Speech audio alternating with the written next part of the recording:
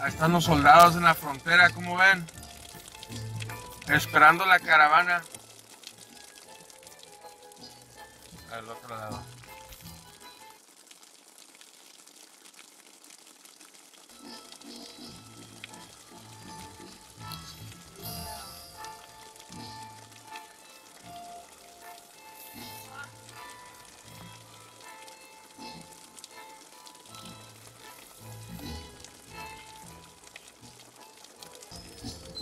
Aquí vienen los inmigrantes.